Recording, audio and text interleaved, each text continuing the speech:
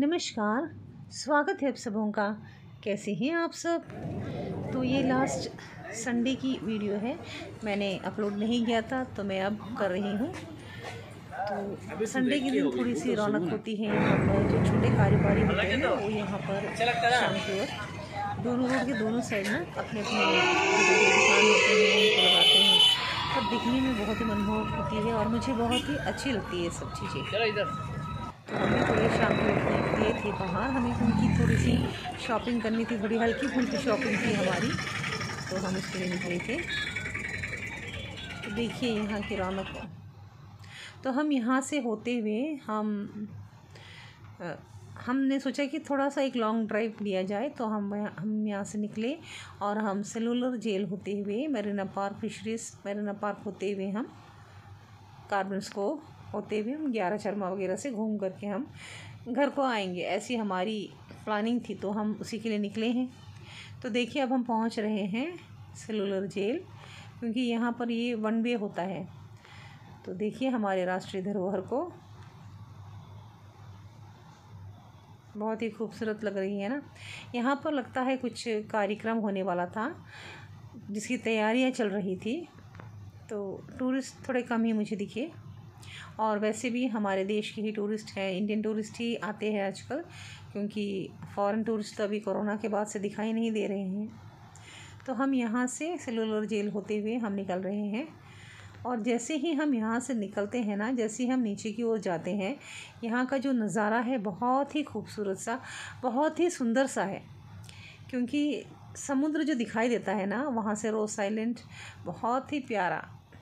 लोग इसी को देखने के लिए तो आते हैं यहाँ पर। और इसी के लिए हमारा आइलैंड जाना भी जाता है, क्योंकि हम चारों ओर पानी से घिरे हैं। बहुत ही खूबसूरत मन को मोह लेने वाली। तो देखिए, और क्या बताऊँ, जब मैं यहाँ से गुज़रती हूँ ना, जब भी मैं यहाँ से गुज़रती हूँ, मैं थोड़ी देर के लिए ज़रूर रुकती हूँ, क्योंकि ये नज़ारे बहुत ही अच्छे लगते हैं। छोटी छोटी कश्तियाँ देखिए रोस आइलैंड देखिए, इतनी प्यारी है। और जो पानी का जो रंग होता है ना, एकदम नीला बहुत ही खूबसूरत। और यहाँ व, यहाँ पर देखिए कुछ बोट्स वगैरह हैं और इस समय यहाँ पर थोड़ी बहुत मतलब थोड़ी बहुत वाटर स्पोर्ट्स वगैरह चल रही है। जैसे देखिए वाटर स्कूटर वगैरह, जिसमें जो इंडियन टूरिस्ट आते हैं, वो इनका लुत्फ़ उठाते हैं।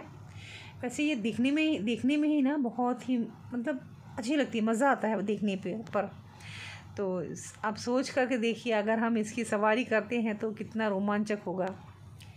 तो देखिए, ये दिखने में इतनी खूबसूरत लगती है। तो थोड़ी देर के लिए हमने ना यहाँ पर, मैं रुक गई ताकि मैं नज़ारों का लुत्फ़ ले लूँ। तो ये देखिए। बहुत ही अच्छे लगते हैं।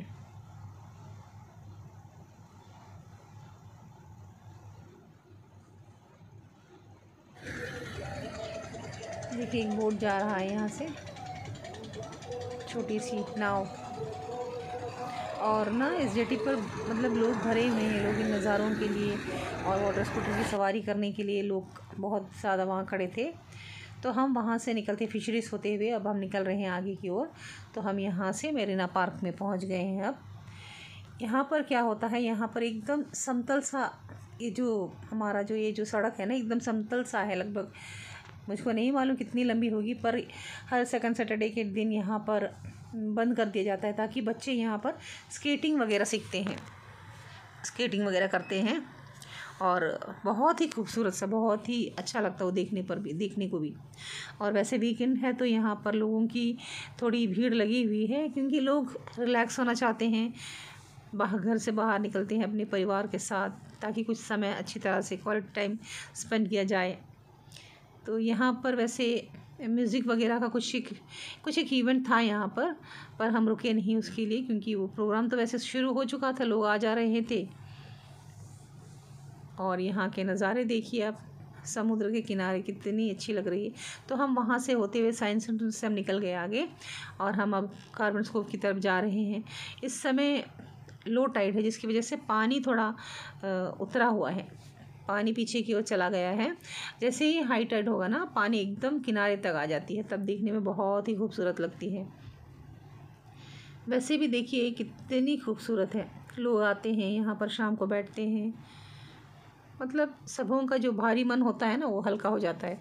लोगों को अच्छी फील होती है। तो देखिए, हम कार्बन स्कोप पहुँच गए हैं और देखिए, वहाँ के क्राउड को अब देखिए, बहुत सारे लोग हैं, बहुत सारे लोग। तो मैं तो यहाँ रुकने वाली नहीं। और क्योंकि इन नज़ारों को तो हम हमेशा से ही देखते हैं। तो हम तो हमारा तो प्लान ही था कि हम ऐसे लॉन्ग रूट थोड़ा घूमेंगे तो हम निकल गए। तो देखिए, गाड़ी आवाज़ वगैरह यहाँ पर पार्क की गई है। और ये मेरे बेटे ने कुछ बनाई है फ़िश इटालियन और फ्रेंच कुजिन उसने सीखा है। तो आप सबों का धन्यवाद। थैंक यू फिर मिलते हैं।